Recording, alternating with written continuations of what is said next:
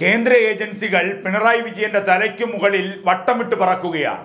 എല്ലാവരും ചോദിക്കുന്ന ചോദ്യം ഒരുപക്ഷെ പിണറായിയും ചോദിക്കുന്ന ചോദ്യം എന്റെ അടുത്തേക്ക് ഈ ഏജൻസികളൊന്നും ഇതുവരെ വന്നില്ലല്ലോ.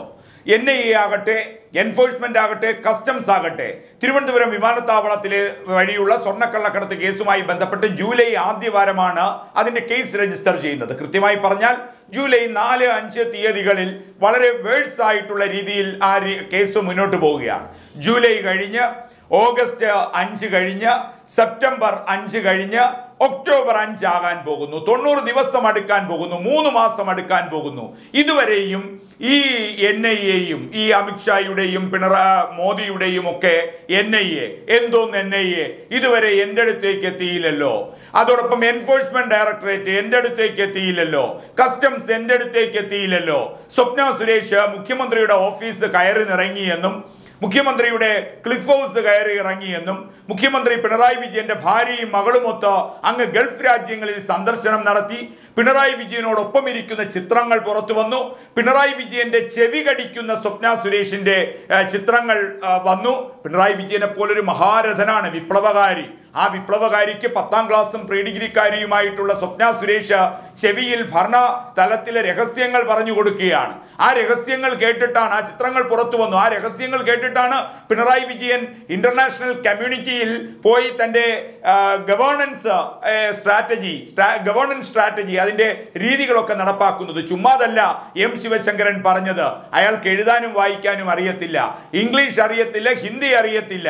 ഞാൻ പറഞ്ഞു കൊടുക്കുന്നത് തത്തമ്മയെ പൂച്ച പൂച്ച പോലെ പറയും. ഞാൻ കാണിച്ചു കൊടുക്കുന്നിടത്ത് ഒപ്പിടും എന്ന് എം ശിവശങ്കരൻ പറഞ്ഞതും കൂടി ചേർത്ത് വയ്ക്കുമ്പോഴാണ് സ്വപ്ന സുരേഷ് പിണറായിയുടെ ചെവി കടിക്കുന്ന ചിത്രത്തിന്റെ അർത്ഥം ജനം മനസ്സിലാക്കുന്നത്. ഇതൊക്കെ കണ്ടിട്ട് പറയുകയാണ് എന്റെ അടുത്തേക്ക് എത്തിയില്ലല്ലോ. ഇനി എന്റെ അടുത്തേക്ക് എത്തുമെന്ന് നിങ്ങൾ വിചാരിക്കേണ്ട കാര്യം മൂന്ന് മാസമായി എത്താത്തതിന്റെ ആത്മവിശ്വാസമാണ്. അന്തം കമ്മികൾ അങ്ങ് തള്ളുകയാണ്. നീയൊക്കെ കുറെ നാളുകളായിട്ട് പറയുന്നുണ്ടല്ലോ. ഭാരത് ലൈവിന്റെ വീഡിയോയുടെ അടിയിൽ ശ്രദ്ധിച്ചാൽ അറിയാം. അന്തം കമ്മികൾ വന്ന് കമന്റ് ചെയ്യുന്നത്. എന്റെ പേര് പറയുന്നുണ്ട്. അവതാരകരുടെ പേര് പറഞ്ഞിട്ട് പറയും നീയൊക്കെ കുറെ നാളായി ഇങ്ങനെ അങ്ങ് തള്ളുകയാണല്ലോ. ഞങ്ങളുടെ പിണറായിയുടെ രോമത്തിൽ പോലും തൊട്ടില്ലല്ലോ. എത്ര നാളായി ഇനി നീയൊക്കെ തള്ളും? തള്ളി തള്ളി മറിക്കുമ്പോൾ ഓ ഇതൊക്കെ ഒന്നും നടക്കുന്നില്ലല്ലോ. അങ്ങനെ ചോദ്യം ചോദിക്കുന്ന അന്തം കമ്മികളോട് പറയാനുള്ളത് നിനക്കൊക്കെ വിവരം നശിച്ചു നിന്റെയൊക്കെ തലയിൽ നിന്നുള്ളതും ആധുനികമായ അന്വേഷണ രീതികൾ നിനക്കൊക്കെ അപ്രാപ്യമാണെന്നും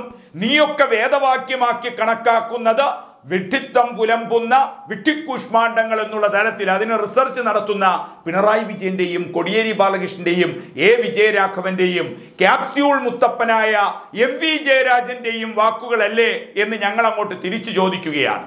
ക്യാപ്സ്യൂൾ മുത്തപ്പൻ ക്യാപ്സ്യൂൾ മുത്തപ്പനായ എം വി ജയരാജൻ തരുന്ന ക്യാപ്സ്യൂളുകൾ നീയൊക്കെ അങ്ങ് തൊള്ളതൊടാതെ ചവച്ചരക്കി അരയ്ക്കുന്നു. എടോ അന്തം കമ്മികളെ നീയൊക്കെ കാലത്തിനനുസരിച്ച് മാറും. നിന്റെയൊക്കെ കുഴപ്പം എന്താണെന്ന് പറഞ്ഞാൽ ആ കുഴപ്പം പി എം മനോജിനെ പോലെയുള്ളവന്മാരൊക്കെ ഇന്ന് സി പി എമ്മിന്റെ വലിയ ആശയ രീതികളിലേക്ക് വരികയും ന്യായീകരണ തൊഴിലാളികളായി മാറുമ്പോഴും ഒക്കെയാണ് നിന്റെയൊക്കെ കുഴപ്പം. പോരാളി ഷാജിമാർ.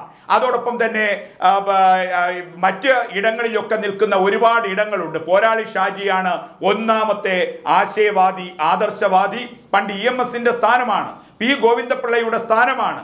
സി അച്യുതമേനോനും പി കെ വാസുദേവൻ നായരും ഒക്കെ കമ്മ്യൂണിസം പഠിപ്പിച്ച ബൽറാമിനെ പോലെയുള്ളവർ കമ്മ്യൂണിസം പഠിപ്പിച്ച അത്തരത്തിലുള്ള ആശയഗതികളൊക്കെയാണ് കമ്മ്യൂണിസം അന്നത്തെ കാലത്ത് പഠിപ്പിച്ചിരുന്നത്. ഇന്ന് പഠിപ്പിക്കുന്നത് ഏതൊക്കെ രീതിയിലാണ് എന്ന് പോരാളി ഷാജിമാരും പി എം മനോജുമാരും പിന്നെ ചില വിദേശത്തിരിക്കുന്ന ഹാഫ് സ്റ്റീവ് കൊച്ചമ്മമാരും ഇവരൊക്കെയാണ് പഠിപ്പിക്കുന്നത്. അതിന്റെ കുഴപ്പമാണ്. ഒന്നറിയാൻ പറയട്ടെ. ഏറ്റവും പുതിയ അന്വേഷണ രീതികളിൽ ഇൻവെസ്റ്റിഗേഷൻ രീതികളിൽ anti pyramid style of investigation എന്നുള്ളതുണ്ട്. സോണിയാഗാന്ധിയുടെയും മൻമോഹൻ സിംഗിന്റെയും പിണറായി വിജയനും യെച്ചൂരിയും ഒക്കെ സപ്പോർട്ട് ചെയ്ത എൻ ഐ എയും കസ്റ്റംസും സി ബി ഐയും അല്ല ഇന്നത്തെ സി ബി ഐ. ഇന്നത്തെ എൻ ഐ എ ഇന്നത്തെ എൻ ഐ എ ഇന്നത്തെ കസ്റ്റംസ് ആന്റി പിരമിഡ് ഇൻവെസ്റ്റിഗേഷൻ സ്റ്റൈലുണ്ട് ആ സ്റ്റൈൽ പോകുമ്പോൾ ഒന്നാം പ്രതിയായ പിണറായിയെ അല്ല സി ബി ഐ ആദ്യം പൊക്കുക. എൻ ഐ എ ആദ്യം പൊക്കുക. കസ്റ്റംസ് ആദ്യം പൊക്കുക. എൻഫോഴ്സ്മെന്റ് ഡയറക്ടറേറ്റ് ആദ്യം പൊക്കുക. അതൊക്കെ അങ്ങ് മാറി അണ്ണന്മാരെ. ക്യാപ്സ്യൂൾ മുത്തപ്പൻ എന്ന എം വി ജയരാജൻ ഇതൊക്കെ പറഞ്ഞു തരാൻ സമയം കാണില്ല. കാര്യം അദ്ദേഹം പി ജയരാജനെ വെട്ടിയൊതുക്കാൻ അവിടെ അങ്ങ് റിസർച്ച് ചെയ്യുകയാണ് കണ്ണൂരിൽ. അതുകൊണ്ട് അദ്ദേഹത്തിന് ഇതൊന്നും അറിയില്ല. കാത്തിരിക്കൂ ക്യാപ്സ്യൂൾ തരാമെന്നേ പറയുകയുള്ളൂ. ആ ക്യാപ്സ്യൂൾ മുഴുവൻ ശുംഭത്വമായിരിക്കും. അദ്ദേഹത്തിന്റെ ഏറ്റവും പ്രസിദ്ധമായ വാക്കാണല്ലോ ശുംഭത്വം. ആ ക്യാപ്സ്യൂളുകൾ മുഴുവൻ ക്യാപ്സ്യൂൾ മുത്തപ്പൻ തരുന്നത് മുഴുവൻ ശുംഭത്വമായിരിക്കും. അപ്പോൾ reverse pyramid എന്നുള്ളതിനെക്കുറിച്ചും anti pyramid mode of investigation എന്നുള്ളതിനെക്കുറിച്ചും പുതിയ കാല അന്തം കമ്മികൾ ഒന്ന് പഠിക്കണം. പിണറായി വിജയനെ ഒന്ന് പഠിപ്പിക്കണം. അത് പഠിച്ചതിനു ശേഷം. അത് വരുന്നത് പത്തു പ്രതികൾ ഒരു കേസിലുണ്ട് എങ്കിൽ ഒന്നാമത്തെ പ്രതിയിൽ നിന്നല്ല അന്വേഷണം പോകുന്നത്. ഏറ്റവും രഹസ്യാത്മകമായി ഒന്നാമത്തെ പ്രതി മുതൽ പത്ത് പ്രതി വരെ ഉള്ളവരെ നിരീക്ഷണത്തിലേക്ക് കൊണ്ടുവരികയും ഒന്നാം പ്രതിയെയും രണ്ടാം പ്രതിയെയും മൂന്നാം പ്രതിയെയും ഒക്കെ അങ്ങ് തുറന്നു വിട്ട് അവരൊക്കെ ഒരു സേഫ് സോണിലാണ് എന്ന ധാരണയിൽ അവരെ യഥേഷ്ടം തുറന്നു വിടുകയും പത്താമത്തെ പ്രതിയെ ചൂണ്ടിക്കൊണ്ട് പത്താമത്തെ പ്രതിയെ വരിഞ്ഞിട്ടുകൊണ്ട് പത്താമത്തെ പ്രതിയെ വലയിലാക്കിക്കൊണ്ടുള്ള അന്വേഷണം മുന്നോട്ട് പോകുമ്പോൾ ഈ ഒന്നാം പ്രതി തെറ്റിദ്ധരിക്കും. ആ പത്താമത്തെ പ്രതിയാണ് ഒന്നാമത്തെ പ്രതി എന്നുള്ളത്. ഇതൊക്കെ ഒന്ന് അറിയാൻ ഇസ്രയേലും നീയൊക്കെ ഇസ്രയേൽ അമേരിക്ക ഇതിനൊക്കെ എതിരെ മുദ്രാവാക്യം വിളിക്കുന്നതിന് മുമ്പ് അവിടെ നടക്കുന്ന പുതിയ പുതിയ മാറ്റങ്ങളെക്കുറിച്ചുള്ള ജേണൽസ് ഉണ്ട്. ആർക്കും കിട്ടും ഏത് കൊച്ചുകുട്ടിക്കും ഗൂഗിളിൽ സെർച്ച് ചെയ്താൽ കിട്ടും. അറിയില്ലെങ്കിൽ പറയാം Israeli internal force investigation technique എന്നൊന്ന് ഗൂഗിൾ സെർച്ച് ചെയ്താൽ മതി ഗൂഗിൾ ചെയ്താൽ മതി. ഇതൊന്നും കിട്ടിയില്ല എങ്കിൽ doctor Sivadasan A K G സെന്ററിൽ ഇരുന്ന് ഇതിന്റെ ഡിജിറ്റൽ മേഖലയൊക്കെ നോക്കുന്നുണ്ട്. ഡോക്ടർ ശിവദാസൻ എസ് എഫ് ഐയുടെ ഒരു വലിയ നല്ല ബുദ്ധിജീവിയാണ്. അദ്ദേഹത്തോടൊന്ന് ചോദിച്ചു പഠിക്കണോ ആദ്യം ഇതൊക്കെ. പിണറായിക്കൊക്കെ ക്ലാസ് എടുക്കണം. ഈ ഡോക്ടർ ശിവദാസിനെ പോലെയുള്ളവരെ കൊണ്ട് ക്ലാസ് എടുപ്പിക്കണം. ഈ തരത്തിലുള്ള ഡിജിറ്റൽ മാറ്റങ്ങൾ പഠിക്കാൻ. അപ്പോൾ ഇസ്രയേലിലെയും അമേരിക്കയിലെയും internal investigation process new gen രീതിയിൽ ന്യൂടെക് രീതിയിൽ ഒന്ന് ഗൂഗിൾ ചെയ്യണം. അവിടെ കിട്ടും ഈ കാര്യങ്ങൾ. പുതിയ അന്വേഷണ രീതികൾ. അപ്പോൾ എൻ ഐ എ എന്തുകൊണ്ട് പിണറായി വിജയനിലേക്ക് എത്തിയില്ല? സി ബി ഐ എന്തുകൊണ്ട് മൂന്ന് മാസമായിട്ടും പിണറായി വിജയനിലേക്ക് എത്തിയില്ല? കസ്റ്റംസും ഇ ഡിയും എന്തുകൊണ്ട് പിണറായി വിജയനിലേക്ക് എത്തിയില്ല? നീയൊക്കെ കുറെ നാളായി ഇത് പറയുന്നുണ്ടല്ലോ. ആ ചോദ്യം ചോദിക്കുന്ന അന്തം കമ്മികളോട് പറയുന്നത് ഇത്തരം കാര്യങ്ങൾ ഒന്ന് പഠിക്കുക. ഈ ഏജൻസികളൊക്കെ ഒന്നാം പ്രതിയിൽ നിന്നല്ല പുതിയ കാലം തുടങ്ങുന്നത്. ഏറ്റവും അവസാനത്തെ പ്രതിയിൽ നിന്ന്. ഏറ്റവും അവസാനത്തെ പ്രതിയെ ചോദ്യം ചെയ്ത് ചോദ്യം ചെയ്ത് റിവേഴ്സ് മോഡിലേക്ക് കാര്യങ്ങൾ വന്ന് ഒന്നാം പ്രതിയിലേക്ക് എത്തുമ്പോൾ നാടൻ ഭാഷയിൽ പറഞ്ഞാൽ ആ സമയത്ത് ഒന്നാം പ്രതിയുടെ ജട്ടി കീറിയിരിക്കും.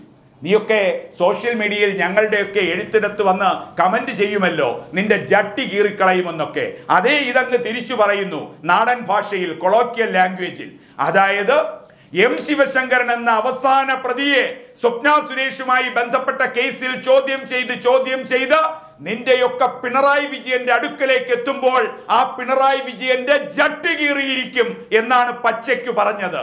അതാണ് പച്ചയ്ക്ക് പറയുന്നത്. അപ്പോൾ പതിനാലാമത്തെ പ്രതിയെ ചോദ്യം ചെയ്ത് തെളിവുകൾ ശേഖരിച്ച് പതിമൂന്നാം പ്രതിയെ ചോദ്യം ചെയ്ത് തെളിവുകൾ ശേഖരിച്ച് പന്ത്രണ്ടാം പ്രതിയിൽ നിന്ന് പതിനൊന്നാം പ്രതിയിൽ നിന്ന് പത്താം പ്രതിയിൽ നിന്ന് ഒൻപതാമത്തെ പ്രതിയിൽ നിന്ന്. ഈ സമയത്തൊക്കെ ഒന്നാം പ്രതി വിചാരിക്കും ഞാൻ സുഖത്തിലാണ്. എന്നെ ആരും തുടത്തില്ല. അതനുസരിച്ച് അവൻ ഗർവാണങ്ങൾ അടിക്കും. തെളിവുകൾ നശിപ്പിക്കാൻ ശ്രമിക്കും. പക്ഷേ ഈ കേന്ദ്ര ഏജൻസികളുടെ സി ദൃശ്യങ്ങൾ പോലെ അവരുടെ ചാര അന്വേഷണ സംവിധാനങ്ങൾ ഇവന്മാരെ വട്ടമിട്ട് പറക്കുന്നുണ്ടാകും. ആ പന്ത്രണ്ടാമത്തെ പ്രതി പതി പത്തും കഴിഞ്ഞ് ഒൻപതും കഴിഞ്ഞ് എട്ടും കഴിഞ്ഞ് ഒന്നാമത്തെ പ്രതിയിലേക്ക് എത്തുമ്പോൾ ഒന്നാമത്തെ പ്രതിക്ക് മിണ്ടാൻ കഴിയാത്ത രീതിയിലുള്ള തെളിവുകൾ ഈ ആൾക്കാരുടെ കയ്യിലുണ്ടായിരിക്കും. അതിനെയാണ് നീയൊക്കെ ഓമന പേരിലിട്ട് വിളിക്കുന്ന ജട്ടികീറൽ പ്രസ്ഥാനം അല്ലെങ്കിൽ ജട്ടികീറൽ പ്രതിഭാസം. അങ്ങനെ വരുമ്പോൾ ജട്ടികീറാൻ ഇനിയും സമയമുണ്ട്. അപ്പോൾ എന്തുകൊണ്ട് പിണറായി വിജയനിലേക്ക് സി ബി ഐ എത്തുന്നില്ല. മൂന്ന് മാസമായിട്ടും എൻ ഐ എ എത്തുന്നില്ല എൻഫോഴ്സ്മെന്റ് ഡയറക്ടറേറ്റ് എത്തുന്നില്ല കസ്റ്റംസ് എത്തുന്നില്ല എന്നുള്ളത് ഈ അന്വേഷണ സംവിധാനങ്ങളുടെ വഴി കൊണ്ടാണ്. അതായത് ഒന്നാമത്തെ പ്രതിയിൽ നിന്നല്ല അന്വേഷണം ആരംഭിക്കുന്നത്. ഏറ്റവും അവസാനം അവർക്കൊരു പട്ടിക ഉണ്ടായിരിക്കും അവർക്കൊരു നിരീക്ഷണ ഇടങ്ങൾ ഉണ്ടായിരിക്കും. ആ ഇടത്തിൽ അവർക്ക് ഒട്ടും പ്രാധാന്യമില്ലാത്ത വ്യക്തിയിൽ നിന്ന് അതായത് അവസാന പ്രതിയിൽ നിന്ന് ആ പ്രതിയിൽ നിന്ന് അന്വേഷണം തുടങ്ങി ചോദ്യം ചെയ്യൽ തുടങ്ങി കണ്ണികൾ ഇഴചേർത്ത് ഇഴചേർത്ത് ഇഴചേർത്ത് കുറ്റപത്രം തയ്യാറാക്കും. ആ കുറ്റപത്രത്തിൽ കൃത്യമായി പേരുകൾ ഇങ്ങനെ എഴുതും. പിന്നെ മാലപ്പടക്കം പോലെ അറസ്റ്റ് നടക്കും. അപ്പോൾ ആറുമാസം കഴിഞ്ഞാണ് തിരുവനന്തപുരം വിമാനത്താവള സ്വർണക്കള്ളക്കടത്ത് കേസിൽ കുറ്റപത്രം തയ്യാറാകുന്നതെങ്കിൽ ആ ചാടിക്കേറിയുള്ള അറസ്റ്റ് ഒന്നുമല്ല ഈ അന്വേഷണ രീതികൾ. കുറ്റപത്രം അങ്ങോട്ട് തയ്യാറാക്കും. കുറ്റപത്രത്തിൽ ഒന്ന് മുതൽ ഇരുപത്തഞ്ച് പ്രതികളുണ്ട് എങ്കിൽ മാലപ്പടക്കം പോലെ അറസ്റ്റുകൾ ഉണ്ടാകും. ഇനി ആപേക്ഷികമായ ഒരു കാര്യം പറയട്ടെ. തികച്ചും ഭാവനാസമ്പന്നമായി. നല്ല നല്ല സുന്ദരമായ സ്വപ്നം പോലെയുള്ള ഭാവന.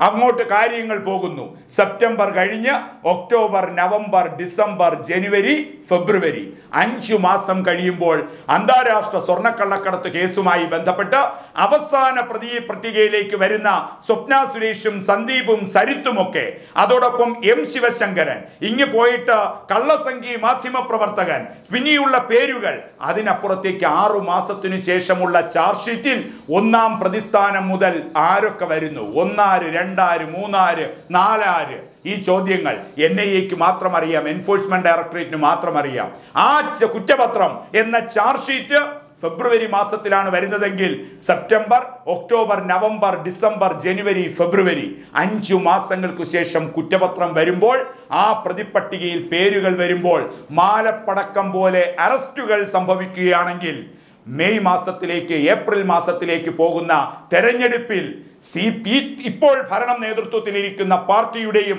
മുന്നണിയുടെയും അവസ്ഥ എന്താകും എന്ന ഭാവനാ ചോദ്യം അന്തം കമ്മികൾക്ക് മുന്നിൽ ഉയർത്തുന്നു.